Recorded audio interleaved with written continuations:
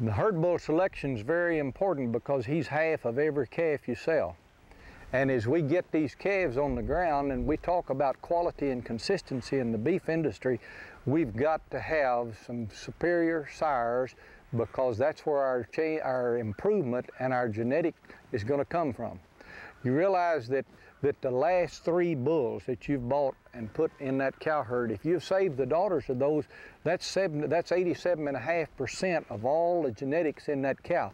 So we have got a, uh, an opportunity through the selection of the right bulls to really improve the genetics.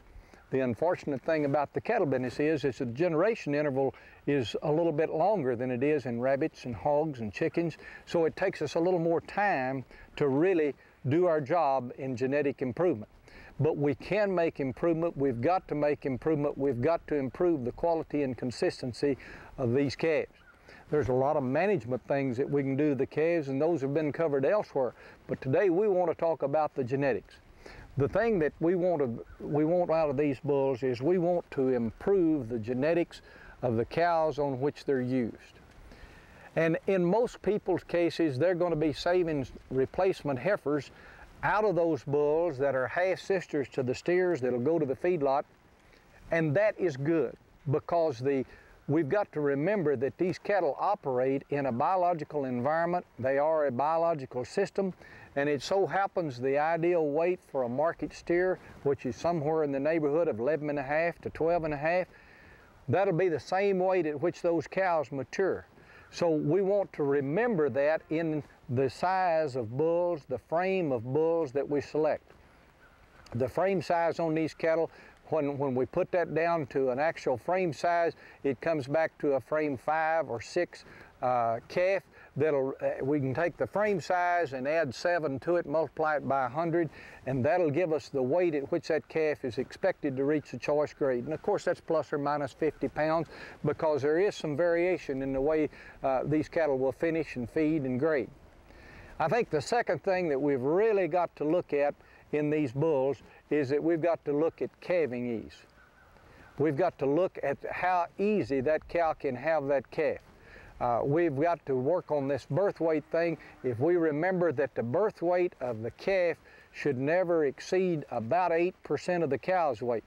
So we can, or 7% of the cow's weight. And then sometimes we can go up to 8% and not get in any trouble. But if we've got a set of 900 pound cows, of which there are some left, we can't breed to one of these 2,600 pound bulls and make that work. So we've got to keep the frame size of the cow and the frame size of the bull within that biological parameter that's set up for us by our grass in our fields and our pastures uh, for these for the cow size and also the parameters which the feedlot and the packing industry sets up for us for the uh, size of these uh, these market steers. Now, the one thing that we've learned over the last few years is that these smaller frame cattle generally do not grow as, a, as fast as the larger frame cattle. And that's the, why we had the trend through the 80s and 90s to larger frame cattle. The only thing is when we reach the biological limits of the, of the grasslands and of the packing industry and of the consumers, when we put those steaks on the table, we got them too big. So we've got to back these cattle down and put them in there at where everything fits in this biological system and all these systems fit together. The thing that we know that will really work today is that we've got to select these cattle for growth. Uh, that means selecting these cattle that will grow rapidly. Not, it's not how big they get, it's how quick they get big. There's frequent uh, frequently 20 cents a pound difference in the cost of gain in the cattle in the Ranch to Rail program. Uh, steers that come in weighing the same, some of them grow at two and a half pounds a day and some of them gain at four pounds a day. And the thing of it is, it's the genetics. And the genetics that go into this bull selection, and we can do that in a number of different ways. We've got to use the EPDs. And I'd suggest to you that the EPDs are more accurate than any set of figures that we can put onto a bull's individual performance. I think that bull's individual performance is, equal, is important. I think we ought to select bulls that are above average in their weaning weight ratio and their yearling weight ratio and select cattle on these ratios. But at the same time, the EPDs are more accurate in saying where that bull will eventually wind up uh, in his genetic offspring. So if we select these cattle that have got genetic potential for growth, rapid growth, not extreme growth because we've got to maintain the mature size. In maintaining the mature size at an acceptable level for these feedlot steers and these cows in the pasture, it'll also help us on the birth weight situation. And I think we, we all these things fit together to make this a pretty compatible uh, situation if we'll work all ends together. I think there's two or three other things in bull selection that are uh, of utmost importance. Number one is that I think we've got to really analyze these bulls for structural soundness. I think that uh, as you look at these bulls, they've got to have some slope in their shoulders, some slope in their pasterns, some angle in their hock. We've got to put these cattle together where they can walk with some cushion and some flexibility in their joints.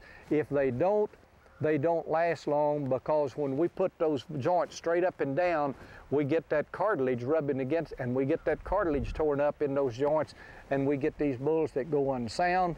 And so for the longevity of the bull, for the longevity of the cow, uh, and, and make these cattle work over a longer period of time, we've got to get away from the straight-shouldered, straight hock cattle that we've, we've come to accept in the last few years. They don't last as long in the pasture if they are, they're straight in their joints. They've got to have flexibility and freedom of movement. These cattle that are restricted in their movement by being too straight in their shoulder, take these little short, choppy strides, they don't work very well because uh, they, they, eventually they wear out in those joints and that cartilage, when it wears out, it's bone against bone.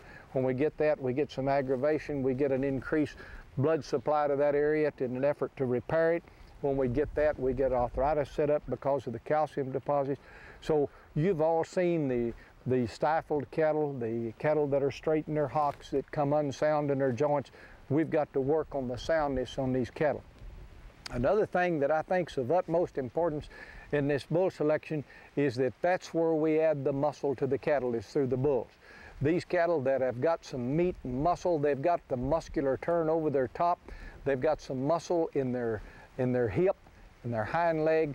And if we find a bull that's got muscle in one place, believe me, it's distributed throughout his body in equal proportions to the next bull. Because what I'm saying is that we can't change the percentage of muscle in one area of the body without changing it equally in other portions of the body. And I think that, that too many times we accept these cattle that are not deep enough in their quarter, they don't, they don't pull that round down toward the hock. They don't have enough length through the stifle. They don't have enough muscular turn over the top. Uh, consequently, we get a lot of those cattle that, that don't have enough meat and muscle in them. Uh, conversely, I think we can get these cattle that have got too much muscle. When we get these 16, 18, 20 inch ribeyes, they're too large to put on the plate. So, but I think we just need to be sure that these cattle are adequate in their muscling, they show some indication of muscling and length through their stifle, uh, in thickness through the stifle, uh, in turn over the top, and thickness out through that rump. And if we put the meat and the muscle in these bulls, they're going to genetically transmit that. It's an interesting thing is that every calf, the amount of muscling in a calf's body is determined at conception. That genetics that goes into that muscling, into that calf, uh, determines his muscling and his genetic makeup for life. So there's a lot of things that go into these bulls uh, from the uh, from the EPDs and the perform individual performance on these cattle, from the structural soundness standpoint, from the calving ease standpoint, from the muscling standpoint. If we select these good beef bulls that'll go out and do the job on a set of cows, and of course their first job is to impregnate those cows. So we've got to check the testicular and scrotal size on these bulls to be sure that, that they uh, have the equipment and the factory necessary to breed the cows. You know, the uh, scrotal size on bulls is, is uh, really coming to prominence in the last few years. It's very important from the standpoint that, that the younger in life that that bull develops an adequate testicular development, uh, the younger in life his daughters will reach maturity, sexual maturity and they'll come in and, and cycle earlier in life. Uh, the standard for the industry has been about 29 centimeters or about 11 and a half inches on 12 month old bulls that are adequately developed and weigh 950 to 1100 at a year of age. Some bulls will have 34, 36. I know ranchers that will not buy a bull that is less than 34 centimeters at a year of age. And consequently, in doing that, they have lowered the age at which these heifers reach puberty, and so they can get these heifers bred when they're 14 months of age, get them in cycle with the cow herd, and it's a management tool that works all the way down the line. For every centimeter larger, the scrotal measurement on a yearling bull, his daughters will reach puberty four days earlier. And I think that's a real important economic thing when we look at these bulls. Uh, I think we've got to look at the scrotal size and development uh, to be sure that they have not only the equipment, but genetically they're passing on and transmitting that ability to mature early and they pass that on to the daughters. These are some of the things that I think really uh, bear strong consideration in herd bull selection. I'd like to say one other thing about the breeds because uh, I know that there's people that, that say, well, what breed of bull should I buy to put on my cow? Well, I think that there are good cattle and sorry cattle in every breed. Half of them are below average in every breed. So it doesn't make any difference about the breed that you select. If you want red cattle, there's a number of those breeds. If you want black cattle, there's a number of those breeds. Uh, the thing of it is, we've got to select the good cattle that have these things we've talked about in structural soundness, in scrotal development, in uh, um, calving ease, and muscling. Those are the things that are important.